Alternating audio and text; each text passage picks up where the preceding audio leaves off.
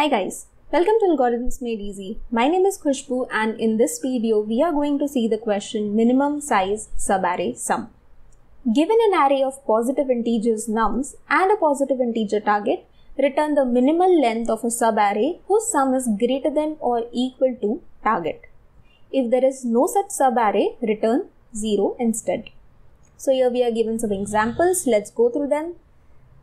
When the target is 7 and this is the nums, the smallest subarray that gives us the sum of 7 or more is 4, 3, which is of length 2.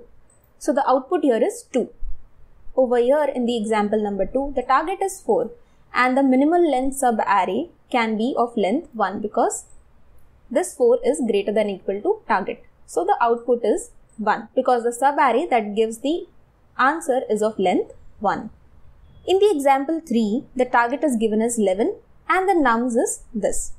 Even after adding all the elements, we are not going to reach the target and thus no subarray exists that can achieve a target of 11. That means we need to output 0. So now let's go ahead and see how we can solve this question by taking the example number 1.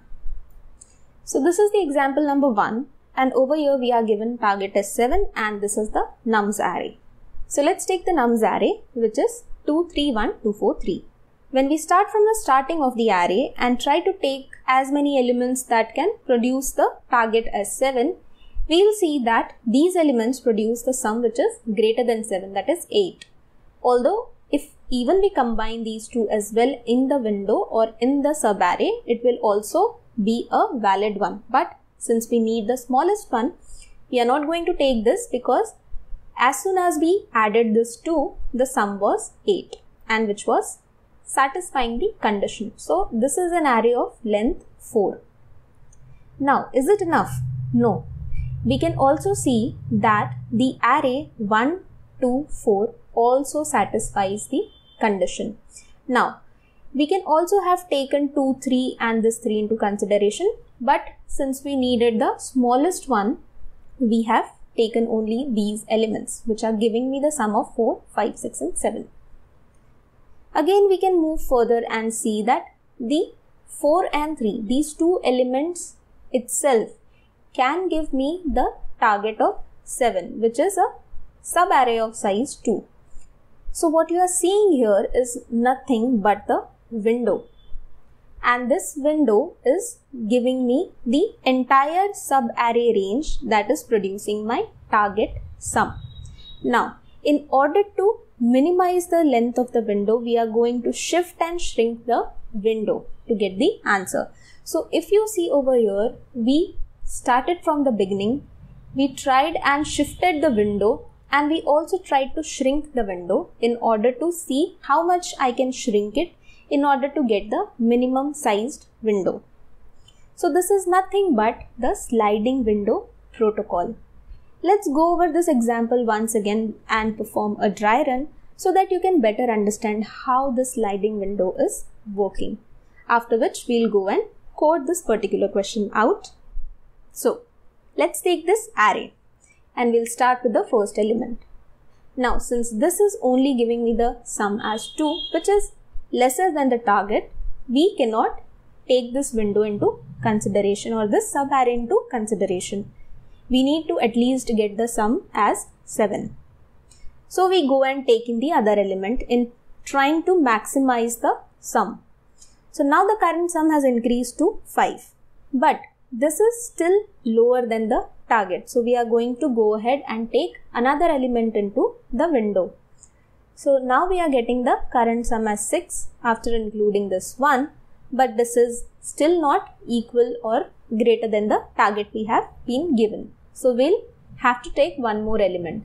Now when we considered this 2 my current sum became 8 and thus this is greater than the target. So we can consider this window. Now can we take this as is into consideration that the window of size 4 is the optimal window? No, there is a possibility that if we exclude the elements that are in the start, we'll still get the target sum as 7 because there is a possibility that the elements in the start are of lower value. So let's try removing this 2. Now once we remove this 2, current sum becomes 6. So we know that this 2 cannot be removed. But if there was a 1 instead of this, we could have removed it. So we'll keep this and our window size is going to be of size 4. So let's move ahead and take 4. As soon as we add this 4, the current sum becomes 12. Now can we take this window as is which is of length 5? We can try and shrink it, right? So we'll try removing this 2. Now the current sum is 10 which is still greater than the target. So we can remove this element. Let's try removing this 3 as well. And now the current sum is 7. And the target is also 7. So which is still satisfying the condition and thus we can remove this 3 as well.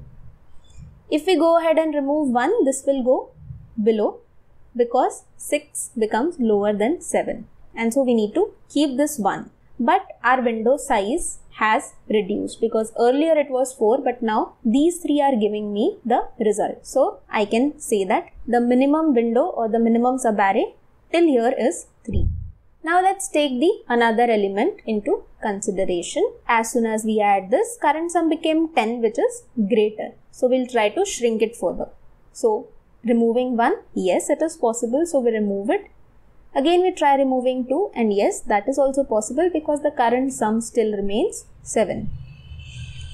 When we try removing 4, the current sum becomes 3 because now that we are only considering this 3. So that is not possible because that is not satisfying the condition. So we need to keep this 4 as is and my window size becomes 2. And now that we have reached the end of the array, I can return the window size that I have formed which is the minimum subarray size returning the sum being target or greater than the target value given to us. So that was the dry run for this particular problem. Let's go ahead and code this out. So let's take some variables with us. So over here I have taken a current sum, a window, a start and end of the window. My window length initially is integer.max value because we are going to try and find the minimum value. So initially we take the max value in that case. Now we are going to take a for loop. In this for loop we are going to take the conditions for the end of the window. While it still stays in bound of the nums and does not go beyond that, we are going to loop. Initially, we'll just find out the sum which is equal to addition of nums of end. Now, we also need to see how we can shrink the window. Now, while this current sum is going to be greater than the target that we have, we are going to shrink the window. So, let's take that. Over here we are going to shrink the window. But with this also what we are going to do is we are going to find or take the window size as well. Because this is the place where the condition of having the proper subarray is satisfied. So this is going to be the window length which is minimum of the window we have previously found or the current window which is end minus start plus 1. Apart from this we are going to shrink it so we are going to eliminate the start and we are going to also increment the start because we are now going to start our window from the next element. So this loop is going to handle our window and at the end we are going to just return the window.